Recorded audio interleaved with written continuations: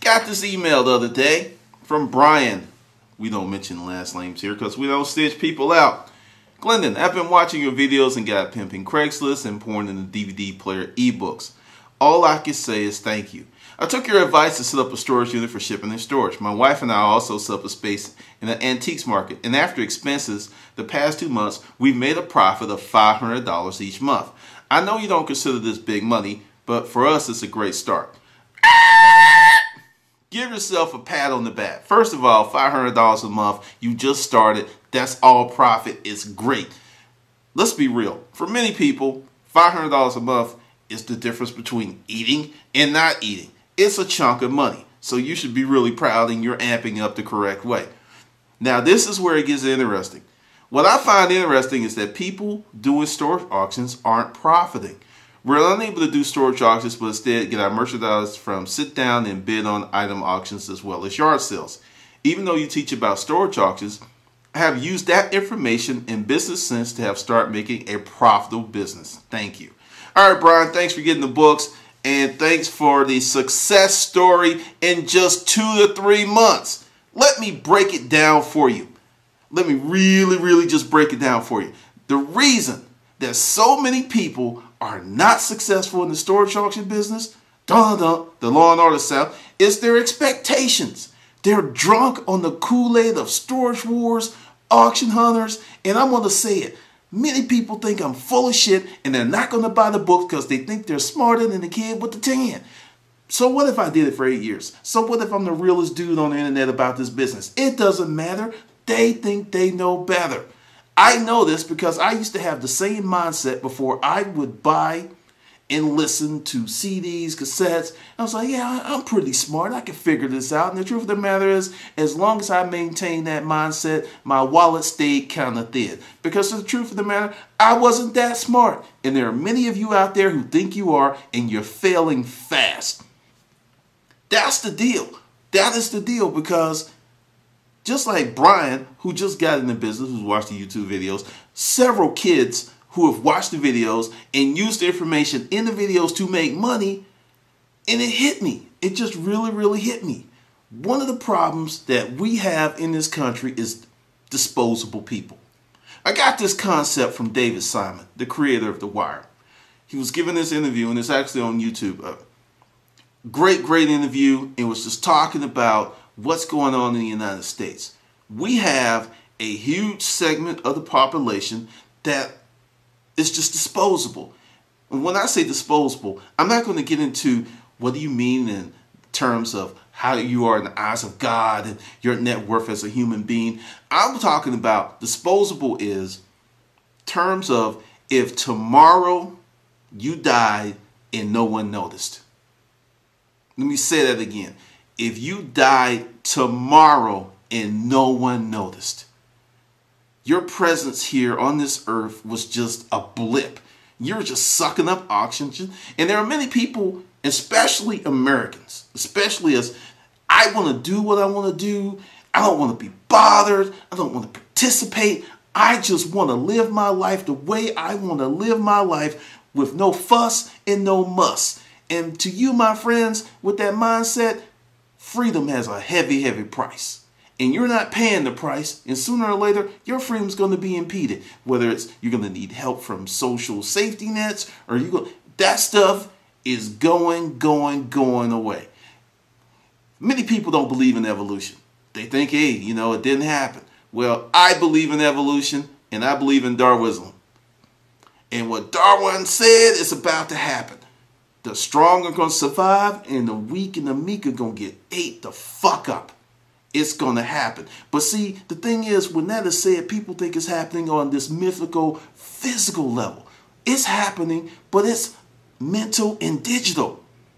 If you don't, you know, uh, Tony Brown years ago, he said, if you don't have an internet connection right now, you're already behind. He said that almost a decade ago, and there are many people who are like, I'm not going to do the internet. I'm not going to get here. I'm not going to become involved, blah, blah, blah, blah.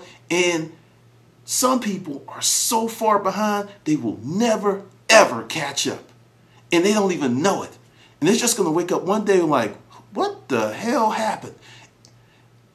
What happened was you didn't make a decision. You purposely became a disposable person. I'm going to say something right here that's probably going to rankle the fuck out of some black people, but I stopped at black and I've never used the term African American. I didn't come from Africa, didn't grow up in Africa. I grew up in freaking Adamsville, Alabama. I'm an American. When I went to Europe, they didn't go, hey, you know, he's an African. No, they said he's a Yank. That's what they used back in the day. It's like, oh, you're a Yank. When I went to Paris, I'm American. When I went to Italy, an American. When I went to Japan, an American. I was not an African American any other where any other place on the planet other than here. Show you how fucking stupid it is. I stopped at black. I'm not moving forward. I think it denigrates and it creates a problem. And where I'm going with this is many blank Americans don't assimilate into the system. This is the thing that has just driven me to distraction for years. Let me give you a few numbers. The United States population is roughly 308, 310 million, maybe 20 million Mexicans hanging out or more. Okay, white people comprise 220, 200, yeah, about 220 million. White women, maybe 112, 115. black Americans, 40 million. So it's a strange, strange relationship when you're the minority trying to hold on to certain things. And understand, I live in a neighborhood with a bunch of Jewish people who firmly and desperately hold on to their culture. They're Hasidic Jews around here. I see them walking. They're doing their things. Talk to them. Hey, how you doing, Yabi? Whatever. But they also assimilated and became critical parts of society. You can do both. You can maintain your culture, but you need to assimilate. You have to assimilate because this is America. You have to be part of the process. You need to be part of the process to realize the dream. But there are many people who are like, I'm not jumping in that pool, but hey, I want all the benefits, I want all the glory from assimilation, but I refuse to do it because I don't want to. I think it's wrong. There was an article the other day on, on a site that just really ticked me off. This is guy, Dalton Caldwell. He tried to collaborate with Mark Zuckerberg at Facebook, and they pretty much said, hey, shut your project down, but you're so brilliant, we'll hire you. He was like, I don't want that. I want to do my thing. To the point he took action, created his own Kickstarter-like program on his website, raised 800 grand, and is doing this thing. Will it work? Will it not? I don't know, but I'm going to join because I'm inspired by the fact that he didn't just sit back and go, it's Facebook. I've purpose. I per, I think Facebook's going to go the way of MySpace at some point. It's just a matter of time because what I don't like about social media is a large percent of it is bullshit. It's just happy, happy, go lucky feel, and you know you can make money with it, but the reality is it's a huge time suck. But back to disposable people and how they relate to storage unit auctions. Watching TV drinking your beer, chomping on your pizza. You see Daryl get a nice unit, or Gerard and Brandy fight and get a nice unit. Now, forget the fact that there's probably some planting and staging going on. That's irrelevant. You see it, you like it, it looks good, it's exciting. It's like a great American treasure hunt. You can go out there and you can get some stuff and you can make money. Yeah, it's seductive. That's the Jedi mind trick. The reality is, storage auctions were hard a long, long time ago. Before there was a television show, before most people knew about it. And I remember the first few months literally kicked my ass. If you're not used to working hard, if you're one of those people that really never held a physically challenging job, you probably won't make it. And if you can't see pushing yourself to a higher level, you probably won't make it. Now, there was a guy on here years, a few months ago named Robert. He chronicled his storage auction journey. Started with a thousand dollars. After a year, he only had 800 bucks. Essentially, he lost a lot of money, a lot of time, a lot of fuel, and a lot of hope. Now, Robert referenced my channel, and this is one of the things he said. Check out Glendon's earlier videos. He did not once say, buy my book. Not once. Not once. What we have, and I take advantage of it too, we have a lot of people that come on YouTube and they give tutorials and they present knowledge. I've learned so much here. I also contribute to the community because there's 500 and some videos and I know from the letters and the success stories that I give out great information that will help you move forward in life. But see, the other thing is, there are people, as Dwayne Butler said with Castle and Addicts, check out his channel, who don't want to pay for their education, do not want to risk any money. Because I'm going to tell you, one of the reasons that Robert failed, and I'm not going to go, oh, he didn't buy my book, he didn't move fast enough. He didn't move fast enough. He, he did not have an internet presence.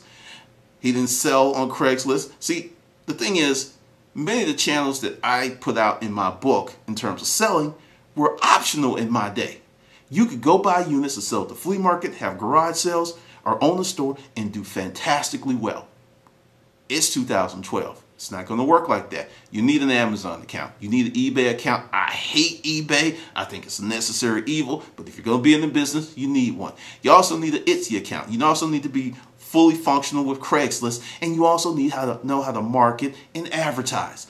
That stuff is not optional. You have to do it to grow your business to a large level. But many people don't want to work that hard. Hence the disposable person notion if you are a certain age and you look back at your life and you have not touched anybody, you've not left any legacy, you haven't built anything, you're a disposable person.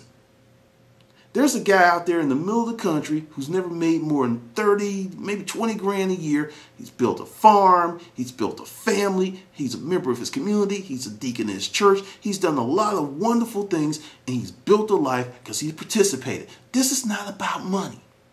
This is about participation because call me overly patriotic, but I've been around the world and this is the place to be. I don't care what you say. You can talk about America's Got a Problem. You can talk about the 99 percenters, which many of them, those people are disposable people. You know, if you're going to sit around and complain, if you go back to the example that I put with Caldwell Dalton, he had an incident where things weren't going the way he wanted. He took action in an appropriate way. Instead of saying, you know, Facebook's this and Facebook's that, he wrote an open letter to Mark Zuckerberg. Then he took action. Not in years, not in months, within weeks. That's how fed up he was with the social media expert. And he's creating a paid social, social, mm, social media utility, a paid one. And a lot of people jumped on the bandwagon because a lot of folks are sick of this stuff. That's how you become a success. Not whining, not bitching, not being a disposable person. Let me give you another attribute of a disposable person. Especially, it runs rampant with Americans. In this country, we were given many inalienable rights glorious rights, wonderful rights. I'm not going into the thing that, you know, people that look like me were in chains when the, you know, the Declaration of Independence was written. Facts are facts. But due to the brave, courageous, and heart-wrenching effort of many people that came before me, I get to share those rights now, and I don't take it lightly. Because yes, the American history is steeped in ugliness, blood, and a lot of bad things. But it's history. Every country on the planet has similar history. Some places it's worse. I could say Germany, and they were killing white people. But going forward, you have people here, they have these rights, and they think that the rights are more important than the action behind the rights. I started not one, not two, but nine businesses. Five of them failed because of the freedom of this place. Okay? The last four have been very successful.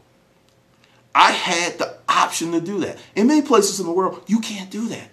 There are many places that if you start a business and you fail, it's it. That's it. It's over. It's a wrap. It's done. You you don't get any more second chance. There are no second chances, no third, no fourth. And that's what makes America great. One of the tenets that Europe was trying to adopt that we have, and many people are going to think this is crazy, they wanted to get a bankruptcy system like ours because in other countries, once you go bankrupt, it's your life. Actually, it's becoming that way here because one of the things is you mess up, you pay a penalty in time, but you get a chance to start over. And you get another chance to start over. And you get another chance to start over. One of the reasons to be successful is failing and learning from those failures and moving that forward in success. But so many people are looking for the quick and easy way out. I put up a video how to increase your productivity not too long ago. Not too many people watched it. Not too many people. Anytime I put up a video that's about real business matters, eh, the viewership is going to be low. But that's okay because you know if someone gets the, the video, gets the information and, and improves their life, it helps them out, it's a great deal. But you got to turn the boob tube off for two reasons. One, it wastes us a lot of time. Two, it's slowly conditioning your mind for mediocrity. Yes, that's the most, that's really, I'm telling you, since I really cut my TV watching time by 90% over the years, my mind has expanded because TV conditions you for mediocrity and it's also part of social engineering. Like, I don't care how big the woman is, she can always kick guy's ass no matter what size he is or his skill level. In real life, women are beat, robbed, raped frequently by men because they can't fight them off. But on TV, they can. More social engineering. But that's another video. But the whole deal is you don't want to be a disposable person. You don't want to have a woe is me, a pitiful, disposable person mindset because even with the hardships that are coming, even with all the bad things that have happened and currently happening, this country is rich in opportunity. Let me say it again. It is rich in opportunity for those who open their eyes and see it. Because if you're doing this, I cannot be successful. I'm too old. I'm black. I'm a woman. I'm a kid. I'm if you're saying that stuff, do this. Just go out in the yard, take a shovel with you, dig a hole, lay in it, and just put the dirt over you and just go ahead and end it. Because until you open up your eyes, there are things that are before you that could have changed your life. You can't see it because one, the mediocrity conditioning of television. Number two, you bought into a lot of uh, myths, like the myth of a college education. And I know I'm going to get a lot of flack about this, but the reality is recent graduates have been putting videos on YouTube left and right about we've been bamboozled. One guy did a video. He had been in college three years. He ran a little short on money. He took an A plus certification course, got the book, and like a month long course, and he he essentially changed his financial picture from taking that course, getting that certification, and he was just like, essentially, I spent 400, 500 bucks, and I'm making money from that. I've been in college for three years. I spent 30 grand, and, I still don't have any skills to make any money. And he was just like, essentially, college is a scam. And I'm like, I'm not going to say all college is not a scam because you go to medical school, engineering school, you're going to get critical tools to be successful. But I've said it before and I'll say it again and I'll take the heat because a lot of my friends who have degrees are like, that's not true. You know, it's a great experience. Check this. The average student now is like 25 to 27. They have a job, family, whatever. So they don't even get to do the traditional hang out in college, drink beer and stuff. Not doing that because they got to get through it and they got to make money as soon as possible. So that whole lay back and smell the roses, that's not the reality of many college students. Many college students are slaving day in and day out, going to work and studying all night to eventually earn something that may not make them any money. That's a daunting thing. But with disposable people, there's a sect of people that if aliens came down tomorrow and said, oh, those are disposable people and we're going to take them, not too many people would notice they were gone. Think about that. Do you want that to be the story of your life? That when you're gone, no one knew you lived? No one gave a damn? Because you were so damn selfish, cowardly, that you refused to move forward in life and put yourself out there. Understand, when you do that, there's going to be bumps, bruises, maybe even a few broken bones. You're going to hurt yourself. But it is better to live and fail than to live a life of a coward. That's my opinion. And there's a lot of cowards out there who's like, oh, oh, oh, bah, oh, bah, bah, bah, bah, Sheep Nation.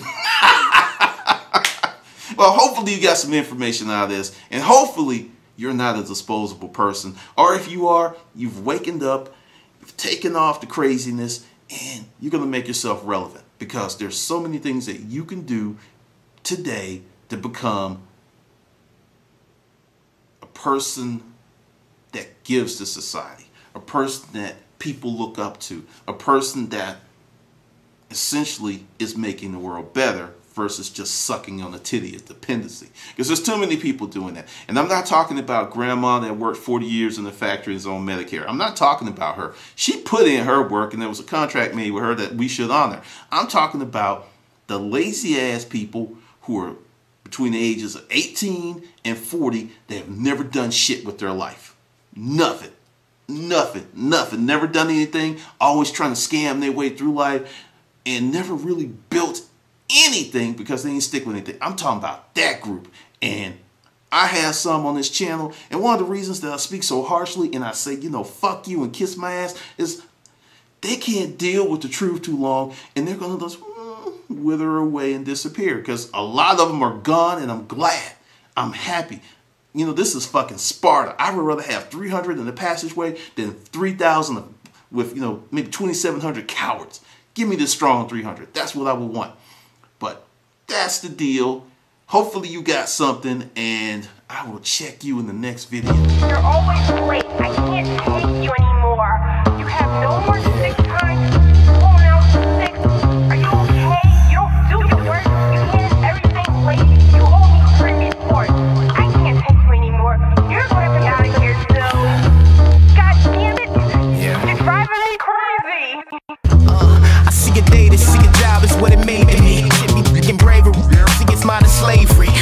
Five, grind and strive. Fucking nigga pay me less. It pay my bills at minimal, but see it pay me stress. Doing this, doing that, and turn around and scold you true. How I did it wrong when I just did it like you told me to. Fuck you, eat a dick. That's what I be really thinking. Yes, sir. No, sir. That's what I be really speaking. Cause even though this job pissed me off, obviously, what make a nigga piss more is living poverty.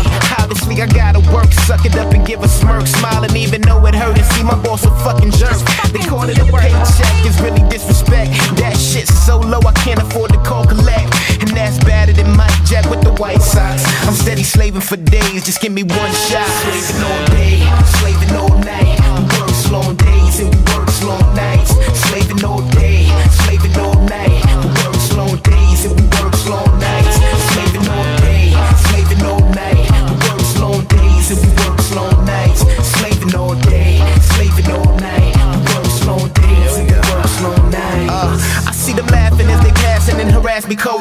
see my passion keeps on passing me, I'm getting older. That's why I rarely let people at my job know I rap. Cause that just turned to some circus like I'm an acrobat.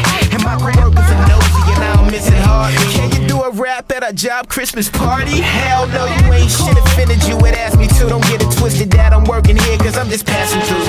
But they don't believe me cause I've been here for years working. And so it's seeming it's dreaming the rapping ain't working. On a professional level, it's so objectionable shovel. I'm doing dirt with, so every day I work shit.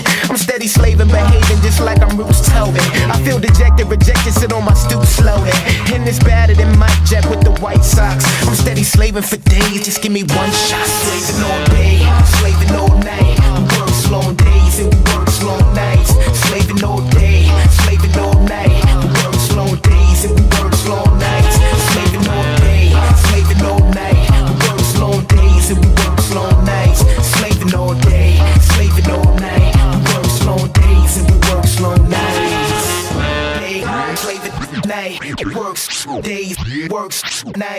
Slaving day, slaving night, works. Days, works. Night.